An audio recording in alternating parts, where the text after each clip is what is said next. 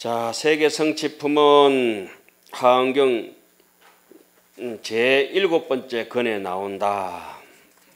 모든 바다를 두루가 그때의 보현보살이 부처님의 위신력으로서 일체 세계 바다와 일체 중생 바다와 일체 모든 부처님 바다와 일체 법계 바다와 일체 중생의 업 바다와 일체 중생의 근욕성이라죠. 근성의 바다와 욕망의 바다와 일체 모든 부처님의 법륜 바다와 일체 삼세 바다와 일체 여래의 원력 바다와 바다가 저 뭐 짠물의 바다가 아니라 바다는 뭐죠?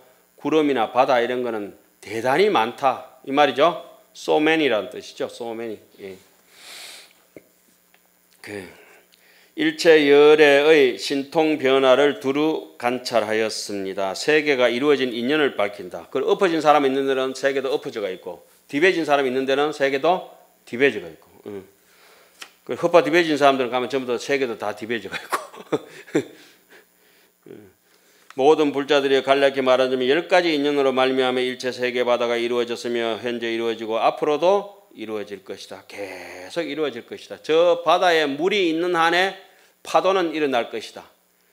바람이 아무리 불었는데 파도가 안 일어나는 것은 뭐가 없으면 파도가 안 일어나요? 물이 없으면 안 일어나는데 그 물이 없어질 날이 있겠어요? 없어질 날 없잖아요. 바닷물이 없어질 날 예를 들면 뭐 지구는 있을랑가 몰라도 실제적으로 그런 저쪽에 법성의 물은 없어지지 않는 거예요. 그러니까 우리가 무명풍이 올 때마다 뭐가 일어나는 거예요? 인연법이 생겨나고 심생적 법 법생하고 신멸적 법멸한다. 심생적 종종 법생하고 신멸적 종종 법멸한다고 능가경에 그렇게 되어 있죠. 귀신론하고 그 부처님 녹야원 설법 최초 설법이 그거 아닙니까? 제법은 종 연생한다. 모든 법은 인연 따라서 일어나고 연진 법판멸이라 인연이 다하면 법도 사라진다. 그러니까 제법은 종연생한다 이 말이 소식이라 할 때 식자고 소식 우리 한 소식 할 때 식자고 그죠? 번식한다, 정식한다 이 말이잖아요. 그러니까 연진 법 한멸 인연이 다하면 법도 다 한멸 사라진다 이 말이 무슨 말이에요? 소한다, 소멸한다 이 말이죠.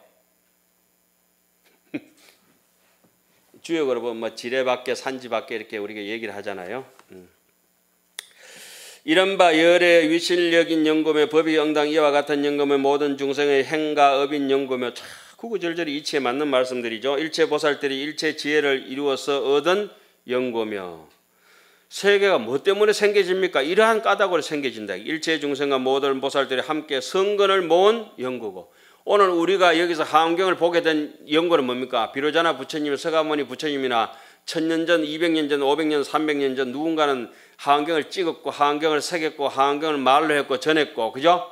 누군가 하원경을 날라왔고 또 우리가 발심을 했고 이와 같은 인연 공덕이 뭉쳐가지고 오늘 이게 마이크를 통해서 하원경을 한번 보고 듣고 하는 거 아니겠어요? 내 혼자 뭐 평지 돌출해가지고 우리 하원경 보고 듣고 할 수 없잖아요. 그 하음은 누구 거다 할 수가 없는 거예요. 저 바다를 어떻게 번질 수가 어디 있겠어요? 허공이 또 번질 수가 어디 있겠어요? 빙글빙글 도는 의자에 앉는 놈이 임자가 따로 있나? 예. 예. 스님 오늘 두 번째죠 오늘 정신 없죠. 들을 만한 게 아주 좋습니다 그러세요.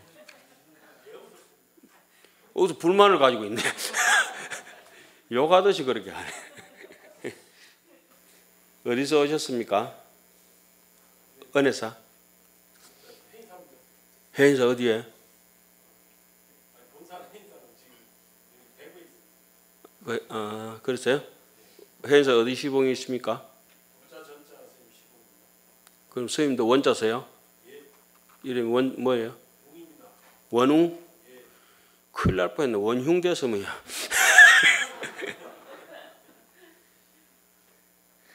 스님 사형 스님이 내하고 행자 도반인 거 알고 있어요. 사형은 국길이고 나는 고향조 하고 이랬는데 행자 때. 스님 사형 스님 중에 아주 훌륭한 강, 강주 스님 한 분 계세요. 그렇지. 그리고 또 창 스님은 한국 불교학 자료를 제일 많이 가지고 있는 우리나라 제일 훌륭한 스님이요. 스님 사형. 음.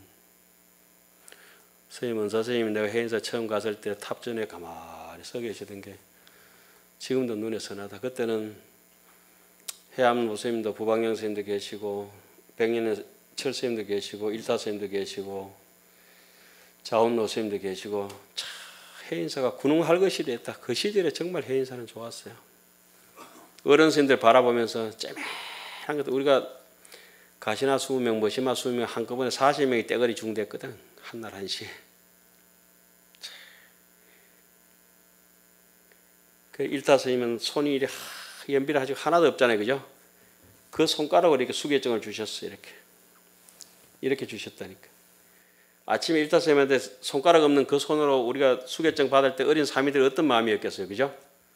병년에 올라가서 방장스님, 성철스님 인사드리고 우리 돌아 나온 뒷꼭지에 한 40명 돌아 나오고 이제 절하고 수계했다고 이제 인사하고 나, 나오는데 고마가 죽노 잘해 이런 말이 귀에 지금도 쟁쟁 일타스님이 그 자애로운 눈빛에 예, 그 저기 원웅 스님 그 원사 스님 그 점잖으신 표정에 해암 노 스님 참 청초하신 모습에 한 3년만 다고지게 달라붙으면 도인 될 줄 알았지. 그는 뭐 3년이 지나고 30년이 지나도 이 모양이 있구나. 예, 지금 계시는 분들이라도 오래 오래 계셔야 돼. 스님은 주사 스님 오래오래 모셔야 돼. 예? 인중의 최대 인연은 선지식이요, 선지식. 선지식은 능화 중생하며 덕견 불성께 하나니 치문에 나오죠. 인중 최대 인연은 선지식이라고 선지식. 어른들이 안 계시면은 그분들이 안 해놔서 우리가 하한계를 어떻게 볼 거예요, 그죠? 아이고 그렇게 그렇게 그때는 이거 날릴 때 지게에 다 지고 대가졌을 게 당신들. 딱 하한경을 그 목판으로 하면 딱 한, 소초 지면 한 짐이거든 이게 딱 한 짐이. 80급 말고 그쯤 소초까지 있잖아요. 경을 다 이렇게 딱 얹으면 한 짐이라니까. 그걸 옛날에 차가 있었겠어요? 뭐가 있었겠어요? 그러니까 발품 팔아가지고 몸품 팔아가지고 우리한테 차전에 온 거라. 그때 뭐 전기불이 어디 있었겠어요? 촛불에 호롱불에 그래 그래 가지고 그 건강도 먹을 게 또 뭐가 있었겠어요? 그때 쭈쭈바도 없었다 그요. 선풍기도 없고 울며 불며 그 산길 산길 걸어가지고 집신 신고 우리한테 어떻게 어떻게 전해가지고 이까지 온 거예요 지금. 참 감사하고도 감사합니다. 그 예불 할때 역대 전등 제대 조사 그 빈말이 아니지 우러 나오는 거지. 일체 보살들이 국토를 청정하게 장엄한 원력인 연고며 그러니까 그런 생각을 하고 나서 읽으니까 조금 느낌이 다르잖아요. 그죠? 일체 보살들이 물러가지 않는 행가원을 성취한 연고며 일체 보살들이 청정하고 훌륭한 이해가 자제한 연고며 그 한경 읽는 자체가 막 수행입니다, 사실은. 어느 글자 빼고 줄이고 할 게 없어요. 하도 안 읽으니까 내가 줄여놨지. 얍삽하게.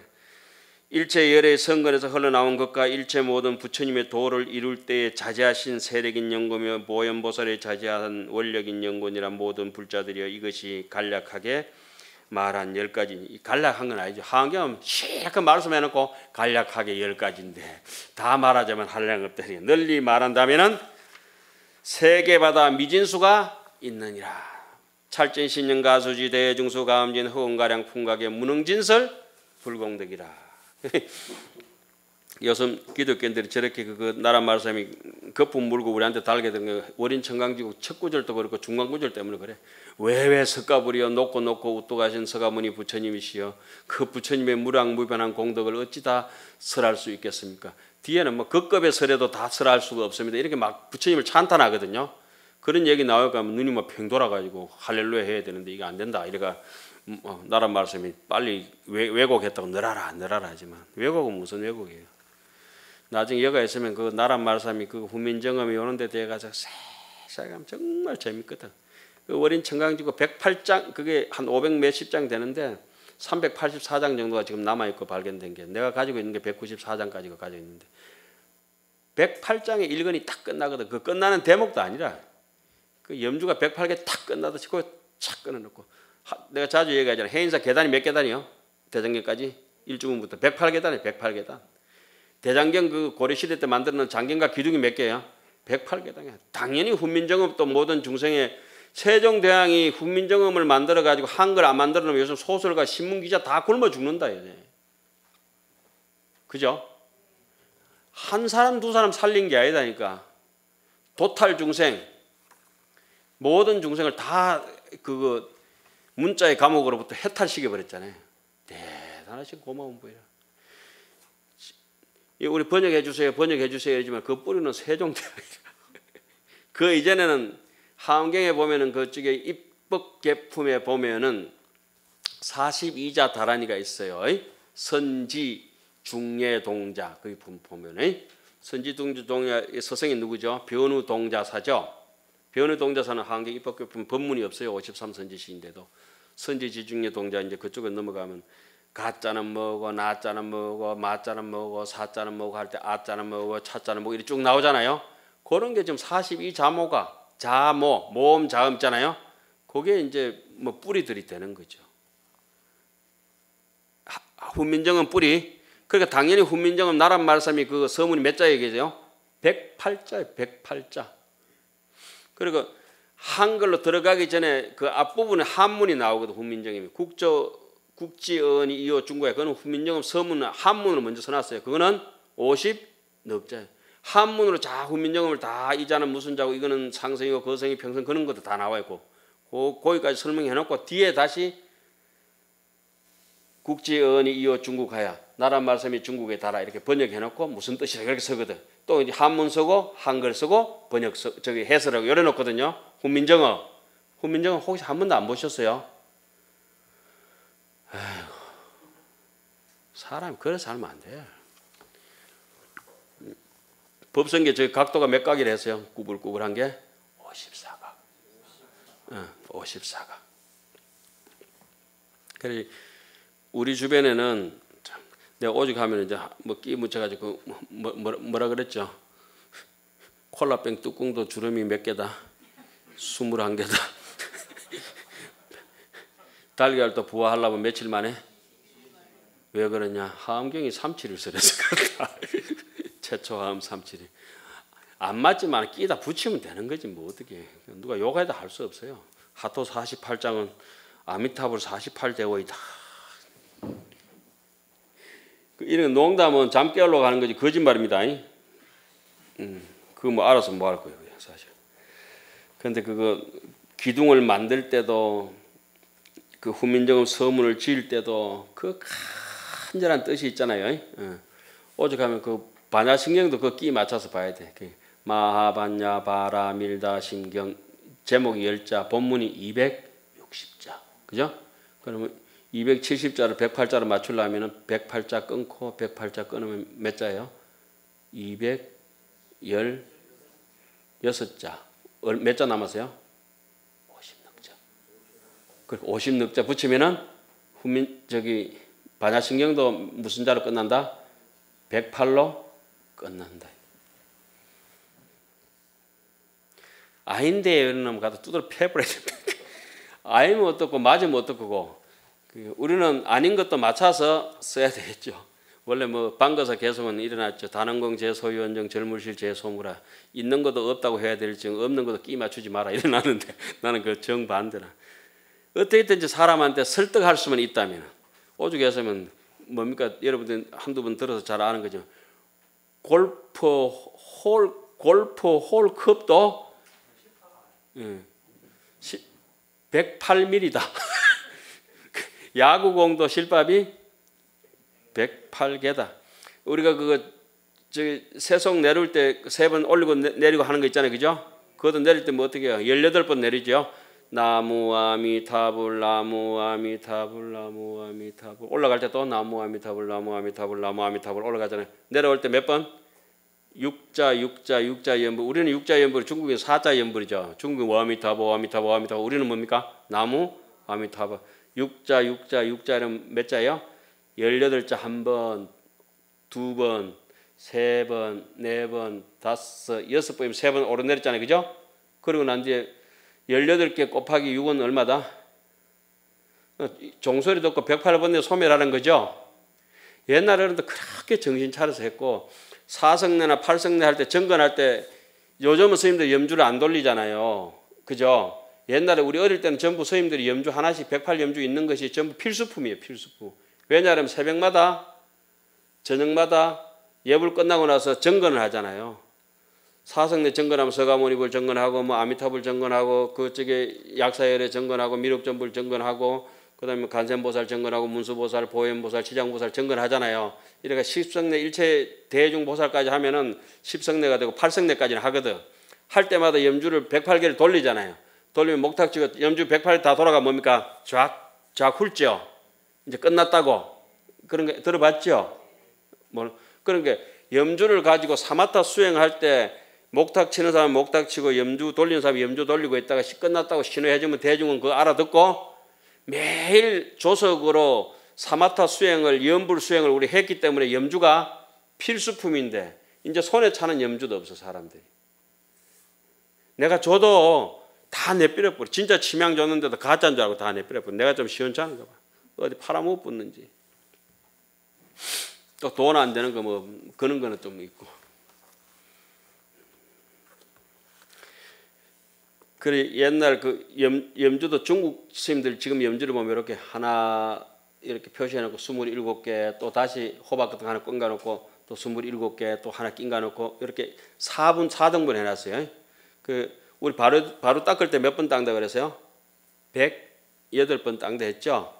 바로를 이렇게 안쪽에 아홉 번 해인사 중들은 다 알아. 바깥 중간에 아홉 번 바깥에 아홉 번 바로 하나 닦으면 몇 번? 스물 일곱 번. 그걸 바로 두 개 닦으면은 오십 네 개. 네개다 닦으면은 백여덟 개. 그게 백여덟 개그 숫자에 떨어지는 것이 아니라 그런 데서 자꾸 의지와 서원 그죠? 계단 108 계단 바른다 해서 108 뭐 108번데 사라지겠어요. 그걸 항상 명심하고 잊어버리지 않겠다고 하는 각오가 생겨진다 이 말이죠. 108 계단을 밟고 108 기둥을 돌리고 예? 그러니까 자, 그다음에 한번 보겠습니다. 그리고 그 여기 세계 성지품에 개성은 어떤 게 있었느냐? 세계 성지품에 하나 딱 뽑았어요. 예. 예. 보현보살이 이 뜻을 거듭펴려고 부처님 위실력을 받들어 시방을 관찰하고 개성을 설하였습니다. 지혜 심심 공덕해가 지혜의 심이 깊은 공덕의 바다가 그래 우리가 지혜나 잡이라고 하는데 이자 봅시다. 보시, 지계, 인욕, 정진, 선정, 반야 하잖아요. 이걸 한마디로 자비라 합니다. 묶어서. 자비로운 사람이 보시하고 자비로운 사람이 계율을 지키고 자비로운 사람이 참고 인욕을 하고 자비로운 사람이 정진을 하고 자비로운 사람이 선정을 닦고 자비로운 사람이 반야 바람을 향합니다. 다 합치면 자비에 하나 기결됩니다. 그런데 이 자비를 아주 시적절하게 눈높이의 방편으로 맞춰 서는 걸 뭐랍니까? 지혜라고 합니다. 예? 지혜와 자비는 똑같은 거죠. 자비는 한량 없이 이렇게 이치적인 입장에서 얘기했다면 그 지혜를 갖다 적적적에 자비의 크기를 누렸다 늘렸다 줄였다 할 수 있잖아요. 그죠? 이게 그 육바라밀이 바로 그냥 자비예요, 자비. 그러니까 독극물은 무명이라 그러고 이 자비는 광명이라 그래요. 삼독은 뭡니까? 무명이라 하는데 무명의 종자는 업상의 종자는 전부 탐진치 만이견 교만하고 의심스럽게 연락이 뻗어져 나오고 저게 저 사람이 지혜가 있나 없나 캄캄하나 이렇게 딱 쳐다보면은 무, 욕심내는 거 전부 무명의 종자거든 무명의 종자 음. 저 사람이 왜 저렇게 자비롭고 사람이 뭐 바보처럼 저렇게 어리석노래지만은 그 사람은 진여의 종자를 알기 때문에 그렇게 아 자기한테도 나올 때 힘이 내가 악독하다 싶을 때는 아 이건 내 모습이 아닐 거야 무명일 거야 내가 좀 자비롭다 싶으면은 내인데도 이와 같은 진여의 자성이 이렇게 활발하게 업용으로 나오는구나. 이거는 삼매가 조금 내 얻어졌는가 보다 이렇게 할 수 있잖아요. 삼매 없는 사람은 자비를 쓰고 싶어도 못 쓰죠. 꼭 계산 계산기 두드린다니까 계산기.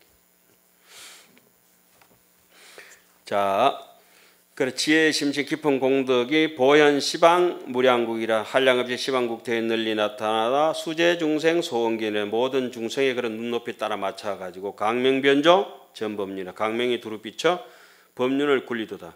광명은 뭐라고 했어요? 진여여 일심이고 그죠? 무명은 뭐죠? 번뇌입니다. 번뇌. 무명을 다른 말로는 무명업상 그 근본 번뇌는 소지장이라 하고 무명의 근본 번뇌가 야기한 뭉태기로 툭툭툭 떨어져 나오는 여섯 가지 단계들은 번뇌장, 번뇌애라고 하죠. 번뇌장. 염심이라고 그래요. 염심. 그 기형이 돼버린 거, 마음이 기형이 된 파편인을 갖다가 번뇌애라고 하고 기형이 될 소질을 가지고 있는 소질을 가지고 있는 무명은 뭡니까? 소지장이라 한다. 기억됐어요? 이거 번뇌장 소지장 이 헷갈리지 마시라고 좀. 예? 소지장은 원판 그대로예요. 예. 뭐 이건 전혀 다른 비유지만 콤포스가 있으면 중심에 딱 있는 게 이게 소지장이에요. 원이 서클이 크고 작아지고 이런 거는 전부 뭐예요? 번뇌장이라 이 말입니다. 에이? 됐죠? 음. 해설 세계 성취품 법계가 이와 같이 펼쳐져 있음에 대한 물음에 답한 것으로 세계가 존재하게 된 여러 가지 상황들을 설명하는 내용이다. 세계는 곧 부처님과 보살들과 모든 중생과 일체 생명들이 의지하여 살아가는 생활 환경이다. 그것을 의지하는 갑옷 즉 의보라 한다. 예컨대 거미는 평생을 거미줄을 의지하고 살아간다. 그러나 거미줄은 나무를 의지하고 나무는 땅을 의지하고 땅은 또 온 우주를 의지하여 그렇게 존재한다. 연결과 연결, 인연과 인연, 중중무진. 그죠? 부처님의 세계는 어떠하겠는가? 이 어른스미 해설인데 정말 좋죠.